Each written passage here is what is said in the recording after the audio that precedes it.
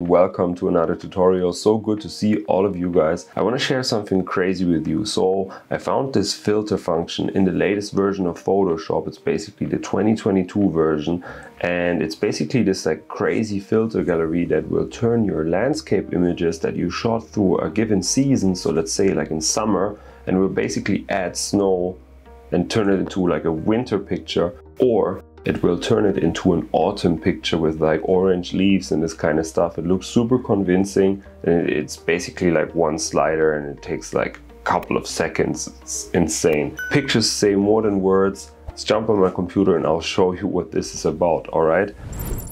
I got Photoshop open with a sample picture that I downloaded on Unsplash. I'll link it below the video.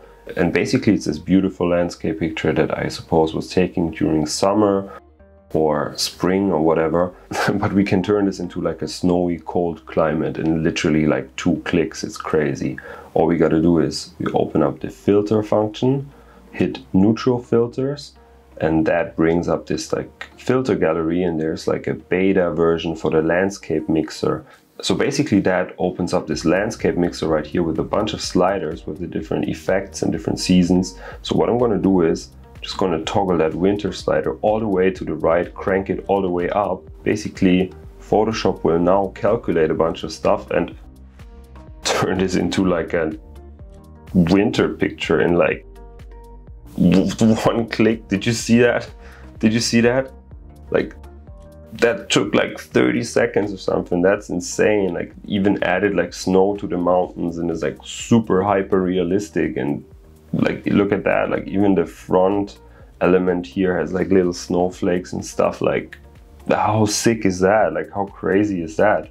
I mean basically i can just like hit ok now and then what it's going to do is just going to save it as a new layer but it doesn't stop here. It gets even better. So there's also another way on how to use this function. You can basically hit the little custom tab right here and select an existing image. Basically what Photoshop will do is take the color palette of an existing image and kind of apply that to this image. So you can see here um, a couple of like common like kind of landscape picture palettes like this whatever like sunset kind of purplish hue or whatever and I want to try this one and actually apply a certain teal and orange look to it and give it maybe like an autumn look just based on the color palette of this particular preset. So all I gotta do is like I hit this and then essentially I crank up the strength right here.